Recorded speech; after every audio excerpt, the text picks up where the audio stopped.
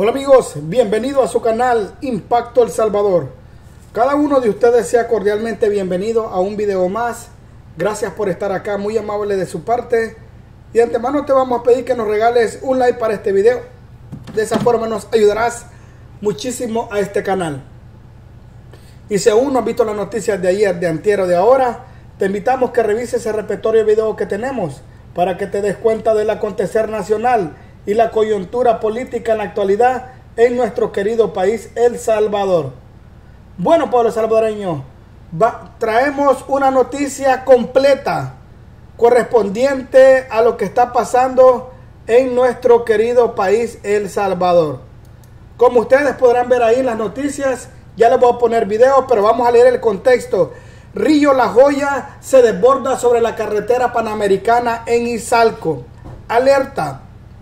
El carril que conduce San Salvador a Sonsonate se encuentra cerrado por la inundación. Debido a la fuerte lluvia de este miércoles, el río La Joya se desbordó sobre la carretera panamericana a la altura del municipio de Izalco. La Policía Nacional Civil informó que el carril que conduce de San Salvador hacia Sonsonate se encuentra cerrado a causa de la inundación. Por el momento se desconoce si hay víctimas por el percance. Y aquí pueden ver ustedes donde la PNC también dice reportamos el desbordamiento del río La Joya. Del río La Joya sobre la carretera panamericana a la altura de Izalco. El carril que desde San Salvador dirige a Sonsonate está cerrado. Vamos a ver este video, vamos a ver si, vamos a ver si no tiene más cosas, pero veamos. Pero antes que veamos esto, por su parte el Ministerio de Ambiente y Recursos Naturales advertido de una posibilidad de una posibilidad de media de 30% a 60% de deslizamiento en caminos cercanos a cordilleras de Apaneca, además de crecidas de río, ya que las lluvias intensas pueden aumentar rápidamente el caudal de los mismos. Durante esta tarde, el mar ha registrado precipitaciones con actividades eléctricas en Santa Ana, Izalco, Coatepeque, El Congo, La Palma, Nahuizalco, San Ignacio, Metapanza, Suntepeque, Hilo Vasco y el norte de Perquín. Veamos aquí este video, vamos a ver. Mira, ahí pueden ver ustedes. No, no, no, no tiene audio, pero ahí pueden ver ustedes las imágenes, cómo se va mirando. Ya voy a poner más videos.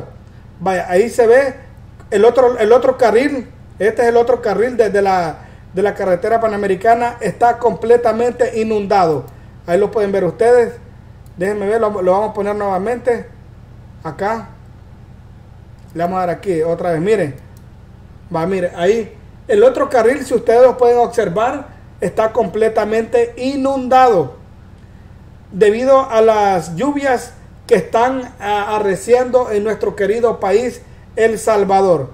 No sé si ustedes alcanzan a ver, el otro carril está completamente inundado. Vaya. Ahora bien, vamos a seguir. Eh, le, voy a poner otro video, ¿verdad? Correspondiente a este mismo tema, ¿verdad?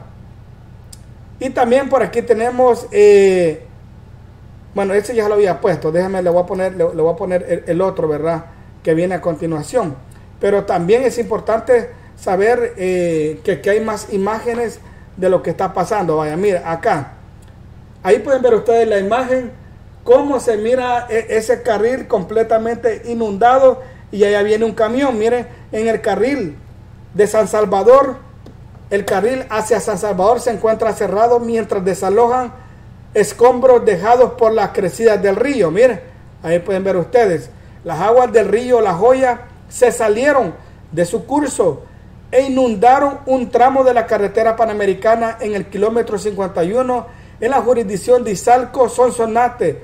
La fuerte correntada de agua y todo obligó al cierre del carril hacia San Salvador. La Policía Nacional Civil informó que el carril contrario ha sido habilitado en doble vía. El equipo de protección civil y el cuerpo de bomberos trabajan en una remoción de lodo y piedra de, las inundaciones que han dejado en la carretera. y aquí pueden ver ustedes las imágenes donde eh, que esas ya se los puse, ¿verdad? Ahora bien, por aquí tengo más imágenes, déjenme ver.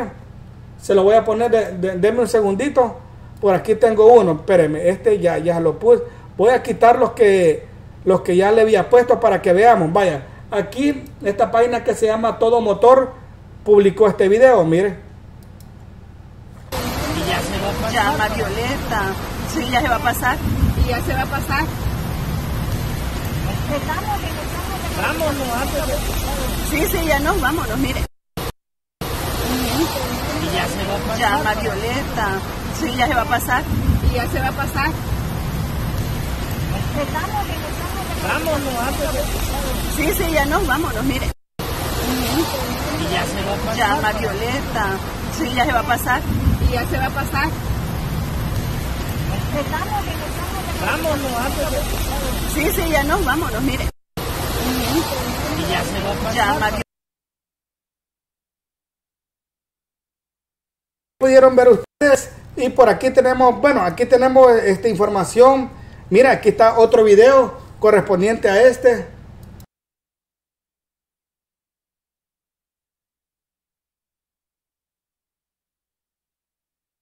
Bueno, ahí, están viendo ustedes lo que ha provocado la lluvia, ¿verdad? También la Fuerza Armada eh, ha, brindado noticias eh, donde dice que los elementos del destacamento militar brindan seguridad y realizan trabajos de limpieza de remoción de lodos y rocas en el kilómetro 51 de la carretera panamericana Cantón La Joya, San Julián, Sonsonate, debido al desbordamiento del río. Y ahí pueden ver ustedes, pueblos salvadoreños, les a enseñar, allá andan los militares eh, ayudando en la remoción, ¿verdad? Allá se miran al fondo trabajando. Mire, allá andan con todo, removiendo los escombros eh, y el lodo para evacuar o limpiar la zona para que la gente pueda seguir transitando, ¿verdad? Ahí pueden ver ustedes, eso lo puso eh, la Fuerza Armada. Mira, vamos a ver si tiene más cosas. No, aquí no, ¿verdad? Bueno, por aquí déjenme ver si tengo más. Aquí, el mapa de distribución especial de la lluvia, acumulada desde las 7 de la mañana hasta las 5 de la, de la tarde de este día. Y ahí pueden ver ustedes que hay, miren, ahí está el mapa, miren, ahí pueden ver ustedes 41% de acumulación de lluvia en Apaneca, allá eh, en lo que es, este, este es por el área de, de Sonsonate. De no, vamos a ver. Mire, aquí pueden ver ustedes. Aguachapán, un 41. No, aquí es Aguachapán, Aguachapán, perdón. En Aguachapán una acumulación de agua de 41. En, el Pacayal San Miguel 37%. En Hilo Vasco Cabañas hay un 22% y en La Libertad un 20%. Esa es la acumulación de agua que hay por estos momentos debido a la lluvia, ¿verdad? Esto es lo que eh, brinda el Observatorio Ambiental del Centro de Pronóstico Hidrológico de la Distribución espacial de la lluvia acumulada. Miren, ahí pueden ver ustedes la acumulación de agua que hay. Déjame ver si tengo más información. Acá también nos, eh, algunos detalles el meteorólogo del Ministerio de Ambiente, David Pinchite, que informa sobre el sistema de clónico que podría incrementar y disminuir su intensidad los próximos días, aunque por el momento no se influyen en las condiciones del tiempo eh, atmosférico. Vamos a ver.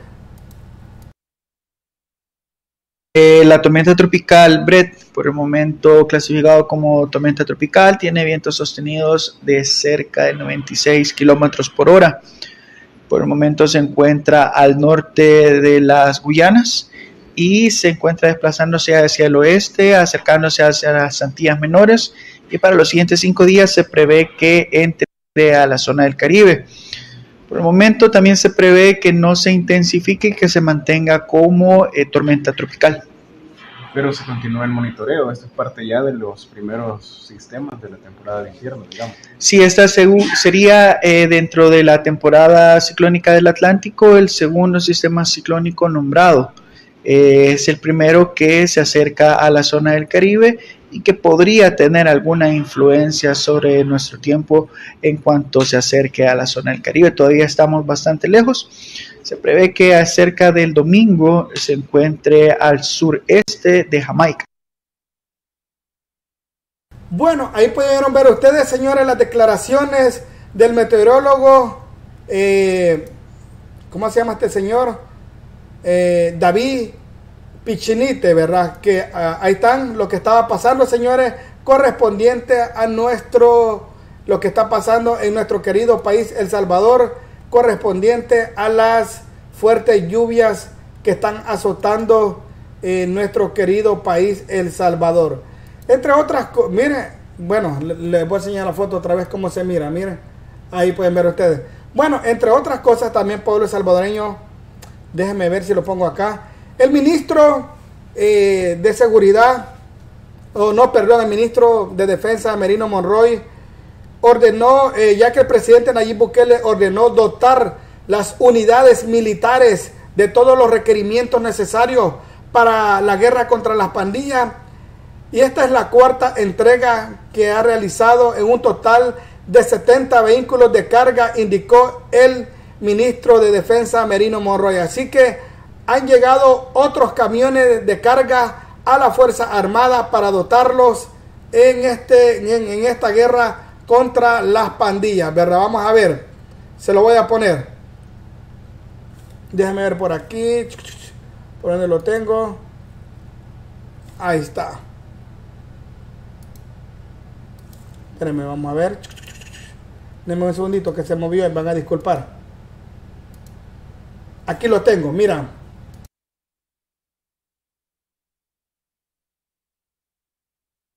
Es totalmente aparte de los vehículos tácticos que, hemos venido entregando, también los que tienen blindaje, que esa es otra, eh, es otra capacidad que se le da a la Fuerza Armada para eh, continuar esta guerra contra las pandillas.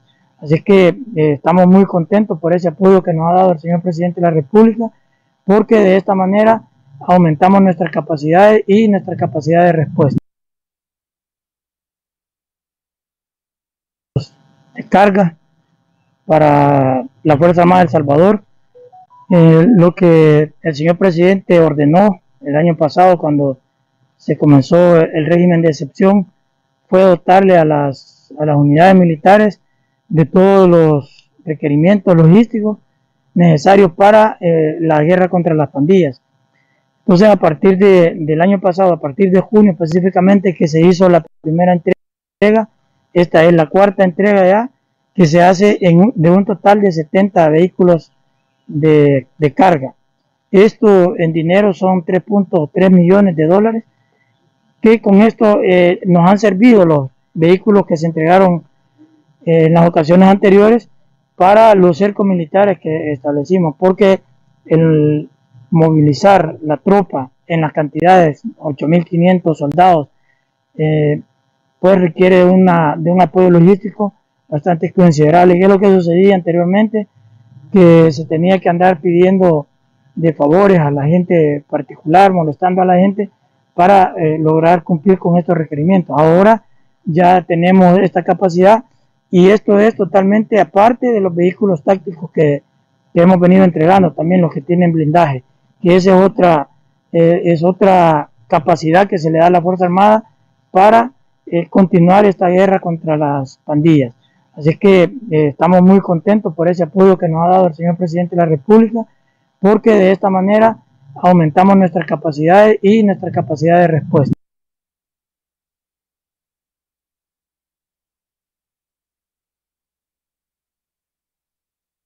ahí pudieron ver las declaraciones del, eh, del ministro de Defensa, Merino Monroy. Y aquí estoy buscando eh, los camiones que presentó. Ahorita los, voy a. aquí está, miren. bueno, al fondo se miraba, pero aquí también podemos ver cuando el, ministro Merino Monroy en una ceremonia entregó una nueva flota de camiones, ¿verdad? De carga, ¿verdad? Para los nuevos retos que se vienen en esta guerra contra las pandillas. Ahí pueden ver ustedes, chuladas, miren Ahí está. Camiones nuevos, no viejos que compraba el Sánchez Serén o los que compraba Mauricio Funes, que compraban aviones de, aviones viejos de, eh, que ya no ocupaban otros países. Miren, ahí pueden ver ustedes, chulada, ¿verdad? Una nueva flota de camiones, ¿verdad? Para la Fuerza Armada. Vamos a ver, ahí pueden ver ustedes para que vean que no es paja. Ahora bien, pueblo salvadoreño, déjenme ver si no me falta algo más que ponerle por acá correspondiente a eso. Ahora bien, nos vamos a pasar a otro ámbito de, siempre hablando de nuestro querido país El Salvador. Pues ahora eh, también la diputada, o mejor dicho, el diputado Auerbach habló sobre, déjeme poner acá, sobre donde dijo que lo inteligente es hacer coaliciones con partidos afines para poder sumar votos. Eh, nuevas ideas, PCN y PDC, creo que mi proceso sancionatorio no pasó a más porque nunca me lo comunicaron a mí, dijo. Vamos a ver lo que dijo el diputado eh, sobre su proceso sancionatorio. Vamos a ver. Regáleme su like, por favor. De, de Gana, por eso se pasaron del 2 de julio al 16 de julio y tengo entendido, aunque yo no soy de la dirigencia, pero, pero por ser de la libertad he preguntado cómo se va a realizar. Se va a tratar de ocupar lo que la ley nos avala, en el caso de diputados, las planillas únicas, para poder llevar en cada departamento, como por ejemplo en Libertad, llevar los siete que irían en la planilla, y reestructurar los 44 candidatos alcaldes que veríamos a nivel nacional, porque hoy solo son 44, en el caso de la Libertad son seis municipios, y creo que ya se está trabajando en en todo lo va a estar listo para que sepamos cómo quedan las planillas, por lo menos eh, como el 3 de julio, creo yo, porque las elecciones son 16 de julio. Ahora bien, ¿usted estaría participando en el proceso interno? Sí, hemos platicado con la dirigencia que,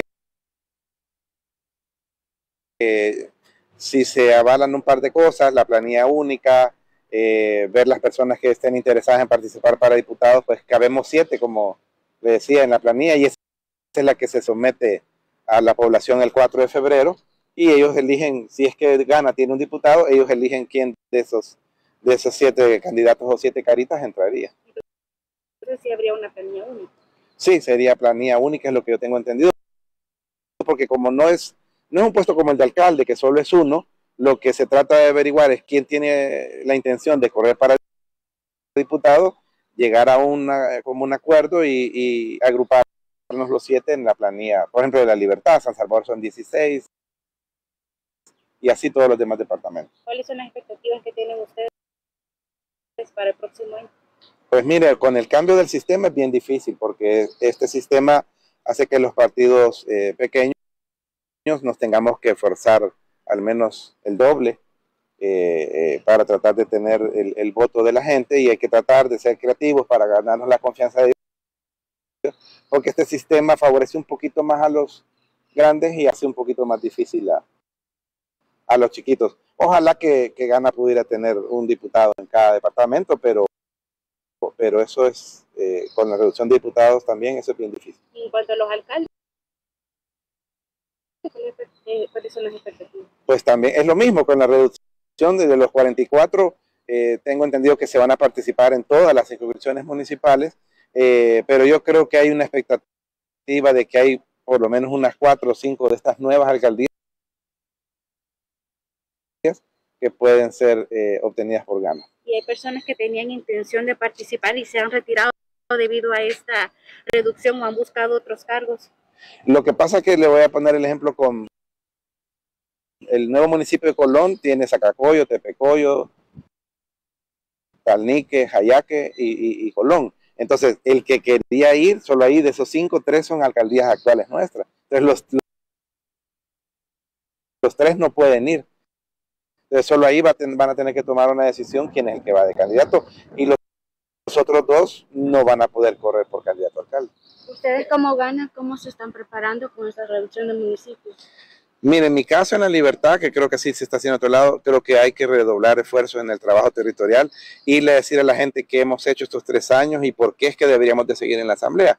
Porque las encuestas nos dicen que eh, el partido que va a tener muchos más diputados en una cantidad muy grande, que es Nuevas Ideas, pues tenemos que ser eh, muy creativos como para decirle a la gente por qué es que también se puede necesitar otro tipo de diputados que estén aliados al presidente. Bueno, nosotros sabemos, pueblos salvadoreños, que eh, Romeo Auerbach eh, es aliado incondicional del presidente Nayib Bukele y siempre él ha defendido al presidente y apoyado al presidente. En lo personal, si me preguntan a mí, yo diría que está bien que, que volviera a reelegirse el diputado Auerbach y que votaran por él, ¿verdad? A ver si no me van a regañar porque estoy diciendo ya llamando al voto. Yo lo conocí a él cuando vino aquí a Irving, Texas. Ahí eh, en un restaurante, ahí estuve, bueno, estuve escuchándolo y la verdad él habla bien bonito de El Salvador, apoya bastante al presidente Nayib Bukele y eso es lo que necesita el presidente, eh, una gobernabilidad y un apoyo de, de, ¿cómo les puedo decir? De partidos aliados como Gana, PDC y PCN, ¿verdad? Y aunque saquen uno o dos, pero van a ser aliados incondicionales al presidente Nayib Bukele. Y eso es lo que necesitamos todos unidos para empujar este barco y no dejar que los raquíticos de la oposición eh, quieran tener, aunque sea más diputados, para querer joder al presidente de la República.